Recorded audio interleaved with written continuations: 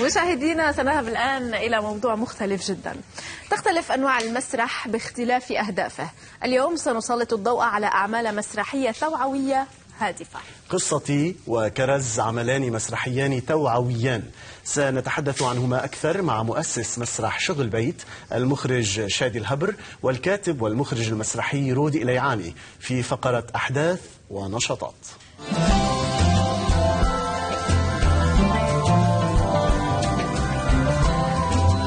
الخير صباح النور. صباح الخير. أهلا وسهلا بشادي وأهلا وسهلا برودي على القافيه نعم. نعم. وأنتم دايما بتتعاملوا سوا. مزبوط صرنا تقريبا شي 13 سنة بنعرف بعض وهيدي رابع سنة بنشتغل سوا. جميل. لنبدأ في الحديث عن شغل بيت خبرنا نعم. أكثر شادي عن شغل البيت. آه، مسرح شغل بيت هو بيت نعم. بمنطقة فرن الشباك آه، أخذنا بيت حولناه لمسرح. نشتغل فيه كل شيء له علاقة ب- بالمسرح. آه، كان عندنا صعوبة إنه دائما وين بدنا نشتغل مسرح، كيف بدنا نشتغل مسرح، مع مين بدنا نشتغل مسرح، فقررنا من سنة يعني من 2016 إنه نعمل آه، مكان بيشبهنا، بيشبه طموحاتنا، بيشبه أحلامنا، بيشبه كل شيء آه، نحن بنحب نعمله ونشتغله بالمسرح. وبنفس الوقت بدنا نشتغل مسرح كل الوقت. فحولنا هذا البيت لمسرح وبلشنا نشتغل في ورش عمل. وانتاج مسرحيات. من هالإنتاج المسرحيات عندنا المسرحيات التوعوية اللي آه، أنا ورودي. بنجمعنا هيدا. هلأ أصلا بدنا نسأل رودي عنه نسألكم سويه عنه الخط التوعوي أو المسرح التوعوي اللي بنشتغل له كثير بلبنان وأيضا بعالمنا العربي. آه، ليه اخترتوا هذا الخط؟ وعلى أي أساس بيتم اختيار مواضيع مسرحياتكم؟ مية بالمية لأنه مثل ما قلتي عم نفتقد لهيدا النوع من المسرح بلبنان والعالم العربي لأنه يمكن أكثر أنواع المسرح بتتجه للأشياء التجارية أو الثقافية. فكتير قليل لما تلاقي حدا آه، راسم خط مسرح توعوي ليتوجه فيه لمدارس لجمعيات لأنه نحن بنقول باللبناني آه، يعني سوقه شوي خفيف لأنه مش تجاري. مش تجاري. بفضل ال- الجمهور يروح يحضر مسرحية بتضحكه أو شيء يعني بس إنه توعوي بيقول لك بلا وجع الرأس آه، ب- ب- بقصة اختيار المواضيع آه، آه، كل سنة بندرس بندرس سوا أنا وشادي شو هي المشاكل يلي عم بيعاني منها الطفل أو المراهق أو حتى العيلة لأنه مسرحياتنا صحيح بمطرح من المطارح اخذ طابع خاصه بالولاد بس هي مسرحية عائلية يعني ضروري. أصلا الأب والأم والأخت عم بيشاهدوها مع يجوا الطفل ضروري يجوا الأهل مع الاولاد لحتى يحضروا هيدا النوع. بكل الأحوال نحن كلنا فينا طفل بداخلنا. صحيح. صحيح. آه شكرا انه عم توعونا. خبرنا عن كرز آه، شادي. آه، بداية وقتها بلشنا نتوجه للعمر الأصغر لأنه نحن بلشنا مع المراهقين بعدين انتقلنا مع العمر الأصغر يلي هن ست سنين أو أربع سنين وما فوق. آه، ففتشنا على شخصية تكون قريبة لإلهم ومميزة بنفس الوقت فلقينا شخصية كرز. وأول سنة بلشنا بمسرحية كرز يلي بتسلط الضوء على حماية الولد. آه، بتحكي عن آه، عن العنف العنف موجه ضده عن التنمير آه، عن الزواج المبكر بتحكي عن التحرش الجنسي بتحكي عن عمالة الأطفال. هيدي المسرحية كانت من بداية 2015 آه، أما السنة كمان مع كرز بس مغامرة جديدة. آه، عملنا مسرحية اسمها Healthy كرز Healthy كرز بتطل على موضوع الصحة يعني؟ الصحة. آه، وأهم شيء بالمسرحيات اللي بنعملها إنه نحن بنقول للولد إنه شو هو لازم شو هو مسؤول عنه. إنه هو بيقدر يعمله من من دون أي مساعدة من ال- من حدا كبير من عائلته معلمته أصحابه. هو بيكون مسؤول عن الأشياء يلي مطلوبة منه بالمسرحية. لازم تنضموا للمنافسة بآخر الحلقة. نعم. المنافسه. المطبخيه النافذة الغذائية الموجودة آه سنشاهد الآن مشاهد من آه مسرحية كراز. آه نحن والمشاهدين. أي كل شي عم يوجعني أخصاني كرزيتي. بعرف إنه كرزة مريضة ولتلاقي الحل لازم تفكر بكرزة. عن جد؟ كيف؟ الحل كتير قريب منك. فكر كتير منيح باللي صار مع كرزة. ولي سوسة قالت هيك عنا. وشوي شوي رح تلاقي الحل. ما تنسى إنك أنت الأهم. يعني رودي خبرنا أكثر ما هي الصعوبات التي تواجهون بعملكم المسرحي خاصة بكرز وغيرها من المسرحيات؟ آه، هي الصعوبات آه، شوي يمكن بترتكز على إنه نقدر نوصل للأشخاص يلي بتاخذ قرار بهيك نوع مسرح لأنه المواضيع يلي بتتطرق لها هي مواضيع نفسية بامتياز. يعني نحن ما ما بنقابل آه، أشخاص آه، بنحكي معهم كرمال مسرحيات آه، للأولاد يت- يتسلوا. يعني مش قصدي بالمعنى إنه آه، أغاني وهيك. مسرحياتنا فيهم أغاني حتى وتسليه مركزين على الألوان والثياب حلوة كتير. مية بالمية. هيدا كله مشغول. نحن مسرحياتنا مرافقة من ثلاث أطباء نفسانية بي- بيشتغلوا معنا على النص على أداء الممثلين وحتى آه، على كيفية طرح المواضيع آه، يلي نحن فينا نقول بين هلالين مواضيع خطرة.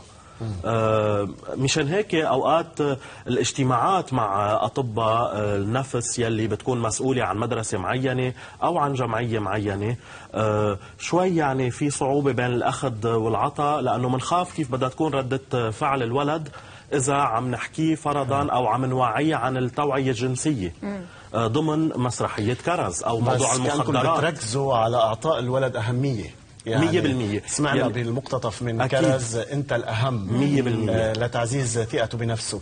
تنحكي عن قصتي. يعني ذكر رودي إنه مواضيعكم خطرة. قصتي بتتناول المخدرات. خبرنا أكثر عنها شادي. آه، مسرحية قصتي آه، خليني أقول لكم أول شيء أنه صار لها بتنعرض من 2014 ومستمرين لأنه موضوعها هو بعده حاجة بمجتمعاتنا إن كان المجتمع اللبناني أو المجتمع العربي. صح. قصتي بتناهض المخدرات.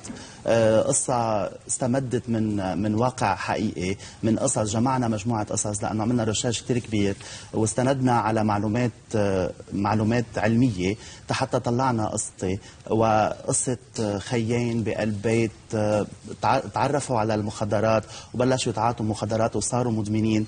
نتيجة آه، سوء التربية نتيجة الإهمال من الأهل نتيجة آه، سوء الرفقة. بس بمسرحية قصتي بنوصل لحلول بالآخر. يعني شو ممكن نعمل حتى نعبي وقتنا قبل ما نتعرض للفراغ يلي هو بياخدنا على إنه ناخذ المخدرات قبل ما نشوف مقطع من قصتي. شو أبرز حل بتضووا عليه لمكافحة المخدرات؟ أبرز حل هو القرار من عندك. أنت كشخص لازم تقول لا وترفض وت... وتعبي وقتك بأمور تنمي شخصيتك وتوجهك لمستقبل أفضل. طيب مشهد من قصتي ومنتابع الحديث مع رودي إليعاني الممثل والكاتب والمخرج رودي إليعاني والمخرج شادي الهبر. من أنا وصغير كان عندي الحشرية أسأل عن كل شي بيخطر عبالي لحد ما هونيك نهار بعدني بذكره كتير منيح. كل شي تغير.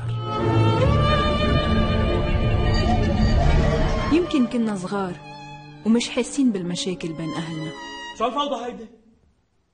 إلك عين تلتهي بعد العلامات الواطية اللي جايبتيها بالمدرسة؟ ولا أقول لك انت ناسي المشكل اللي عمله اليوم بالملعب وشو قالت لك المديرة؟ بس لما تصير حقيقة ونكتشف انه في ناس ناطرة تتاكل أحلام وحياة ناس انغشوا وانضحك عليهم. بعدين شباب عمرك آه، مش عيب يقول مش مجرب؟ قلت لكم إني حشري من أنا وصغير وبحب أكتشف. كرمال هيك ما فكرت مرتين قبل ما أعملها. عم طير عم طير أف! زهقت من نفس المشاهد حاسس حالي عم طير مطرحي. كل حياتنا تغيرت وأصحابنا كمان. أفكارنا وطلباتنا صارت غير. كل يوم مشاكل مع الإدارة وكم تلميذ. وأمي بس عرفت تجنج مننا بوقت يعني مواضيع حساسة و... ودسمة إلى حد كبير. آه واللي بيعانوا منها كل أفراد المجتمع يعني وبكل ال... بكل الدول. إلى أي مدى هنالك خطرة في بين إنه يكون عندنا مسرح توعوي بيوعي وبيفيد المجتمع؟ والشيء وال... التجاري اللي هو الناس اللي بتاخده من التجاري اللي هو الترفيه. كيف فينا نجمع بين اثنين؟ أو أنتم كيف بتجمعوا بمسرحكم بين إنه الناس تجي تستفيد وما تزهق؟ لأنه في خطره فيها بيناتهم. بقصتي دمجنا بين السينما والمسرح. لأنه موجه للمراهقين. والمراهقين بدك تعملهم شيء يشدون يشدون صحيح. وي- والواكب بال- بالعصر. أما بكرز فرودي برد عليك. بكرز كيف عرفتوا إنه راوية بتحب الكرز؟ في كرز وفي Healthy كرز؟ يعني هلا فيك تنقل. العملين. بكرز أكيد كنت عم لكم إنه اشتغلنا مع أطباء أطباء النفسانيين على هيدي المواضيع إنه ما بتقدري تجي تحطي الولد قدامك وتقولي له ممنوع تعمل هيك وممنوع تعمل هيك ما رح يمشي الحال.